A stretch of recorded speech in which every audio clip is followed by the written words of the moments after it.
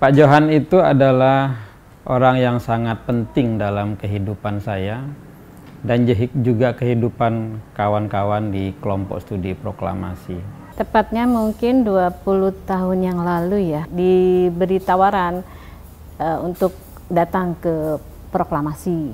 Pak Johan itu saya kenal pertama kali itu dari sebuah buku. Persentuhan saya dengan Pak Johan itu sebenarnya melalui buku ya. Hampir seminggu sekali kami berkumpul di rumah Pak Johan. Saya kenal di sana yang menurut saya dia cukup ajaib karena orangnya sangat tenang, nggak banyak bicara.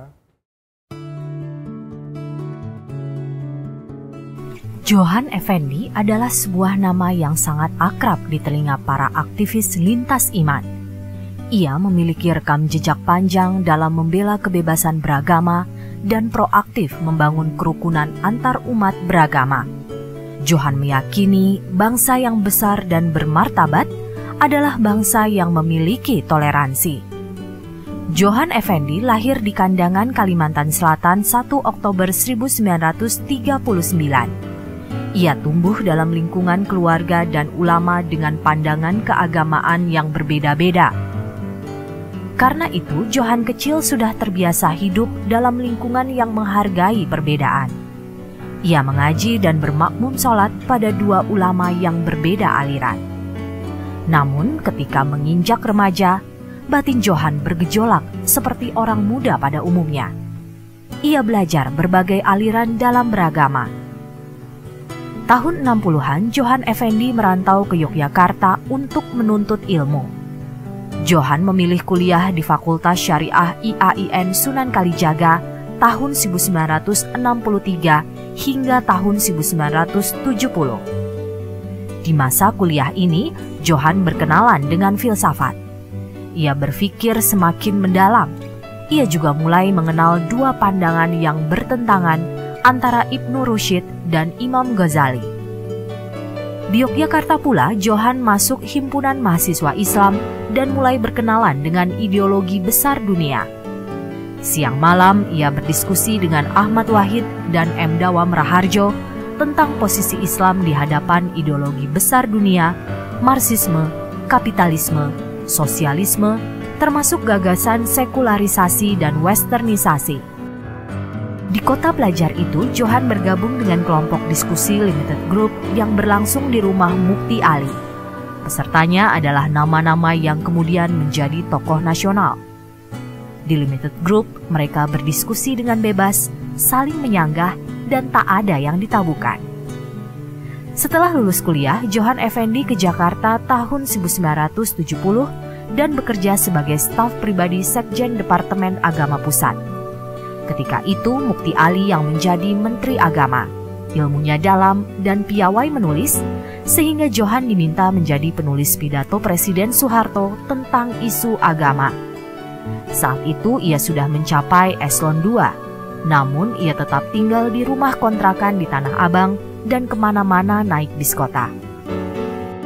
Makin lama kekaguman kami pada, pada Pak Johan makin tinggi karena kesederhanaan beliau dan kerendah hatian beliau.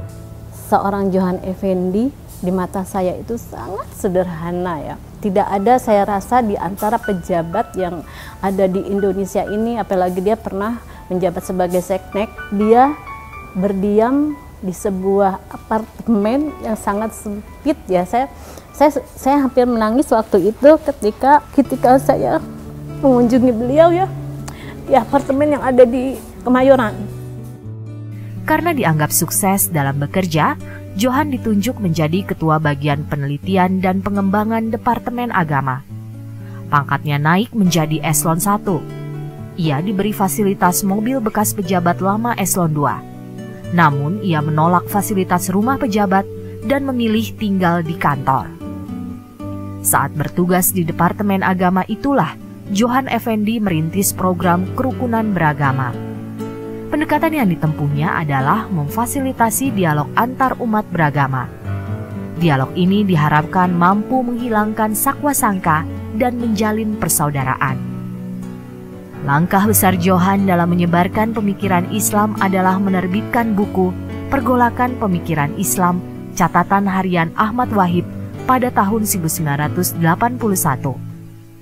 Buku ini menimbulkan kontroversi hebat sehingga majalah Tempo mengangkat buku ini sebagai berita utama sebanyak dua kali.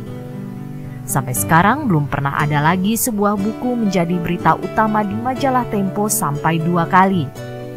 Buku ini diberi kata pengantar dan disunting oleh uh, Pak Johan. Pak Johan bukan hanya uh, menyunting dan uh, memberi uh, pengantar buku ini, tetapi juga uh, disebut-sebut oleh uh, Ahmad Wahib sebagai uh, teman dekatnya. Bahkan buku itu disebut-sebut oleh beberapa teman itu buku suci bagi orang-orang yang berpikiran modern ya. Bagaimana bersikap terhadap Islam, terhadap agama-agama lain terutama ya. Bahkan ada satu puisi uh, tulisan ini diperuntukkan khusus untuk Pak Johan. Han, kalimat ini kalimat biasa. Dia bukan puisi, bukan pula prosa. Teis dan ateis bisa berkumpul, Muslim dan Kristiani bisa bercanda, tapi pluralis dan anti pluralis tak bisa bertemu dia menyangkut milik manusia yang paling tinggi. Pada tahun 1992, Johan Effendi menerima anugerah gelar sebagai ahli peneliti utama atau profesor riset dari Departemen Agama. Dua tahun kemudian, Johan Effendi mendampingi Kiai Haji Abdurrahman Wahid atau Gus Dur berkunjung ke Israel. Kunjungan ini dicerca oleh banyak orang di dalam negeri dan berdampak buruk bagi karir Johan di pemerintahan. Misalnya, ia tak lagi menulis pidato Presiden Soeharto. Namun, ia tetap mengabdi sebagai pegawai negeri di Departemen Agama. Kendati begitu, Johan Effendi tetap menyelenggarakan dialog antar agama tapi di luar birokrasi. Ia membangun jaringan dengan para aktivis dialog antar agama dan dialog antar iman. Basisnya bukan lagi negara, melainkan civil society. Berbagai diskusi dihidupkan kembali Johan Effendi juga mengajak anak muda dari berbagai agama untuk belajar melihat iman yang lain dalam bingkai kemanusiaan dan persaudaraan. Johan Effendi juga pelopor dalam pendirian dan pengembangan DIAN atau Interfide, Dialog Antar Iman atau Interfaith Dialogue, ICRP Indonesian Conference for Religion and Peace, Madia Masyarakat Dialog Antar Agama, dan Para Madinah Ketika Gus Dur menjadi Presiden Republik Indonesia tahun 1999, Johan diangkat sebagai Menteri Sekretaris Negara. Jabatan itu dipangkunya selama 11 bulan. Ia mundur karena tidak cocok dengan cara kerja Gus Dur memimpin negara. Setelah itu, Johan terbang ke Australia untuk menyelesaikan studi doktoral di Universitas Deakin Geelong, Victoria yang telah ia jalani sejak 1995. Ia meraih gelar doktor pada 2005 dengan disertasi tentang pemikiran progresif di kalangan muda NU, kiai muda NU, dan wanita NU. Johan Effendi juga seorang pembimbing bagi kelompok studi proklamasi yang berdiskusi tentang agama, politik, kebudayaan, hingga filsafat di rumahnya sejak 1983. Saat saya kuliah, saya diajak teman untuk ikut suatu diskusi di Jalan Proklamasi kemudian saya bergabung dengan kelompok studi yang melakukan diskusi di sana. Ternyata itu rumah Pak Johan Effendi.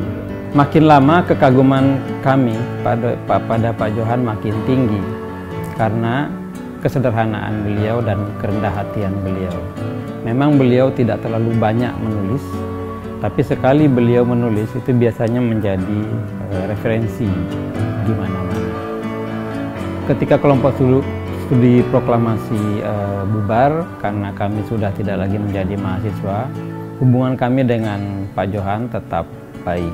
Yang lebih mengharukan buat kami adalah uh, Pak Johan kadang-kadang juga uh, sering memberikan uh, misalnya kami minuman atau makanan atau beberapa kali kami menyaksikan sendiri Pak Johan keluar dari rumah membelikan kue atau kopi untuk kami. Padahal pada waktu itu Pak Johan adalah seorang tokoh yang sangat penting di uh, Departemen Agama. Beliau juga waktu itu sudah menjadi penulis tetap pidato uh, Presiden Soeharto. Saya merasa memang Pak Johan ini sangat mencintai dunia gagasan, dia mencintai komunitas yang hidup di sana dan mencintai para aktivis, para intelektual yang bertukar gagasan, mengupdate gagasan. Karena komunitas gagasan pertama yang saya alami ketika saya mahasiswa, yaitu di kelompok studi proklamasi.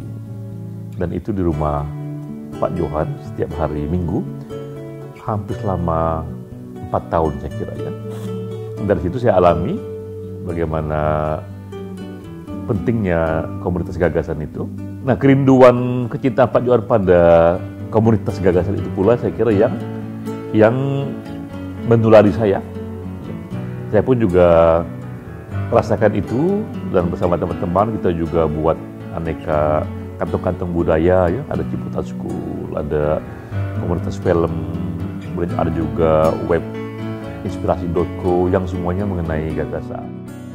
Para alumni KSP kini sering berkumpul lagi meneruskan gerakan toleransi yang diperjuangkan Johan. Namun gerakan ini diperluas menjadi gerakan Indonesia tanpa diskriminasi. Pada usia 75 tahun ini, Johan menyelesaikan tafsir puitis Al-Quran yang diberi nama Tafsir Puitis Al-Quran Johan Effendi. Tafsir ini kelak akan menjadi warisan paling berharga dari Johan Effendi untuk Indonesia yang dicintainya.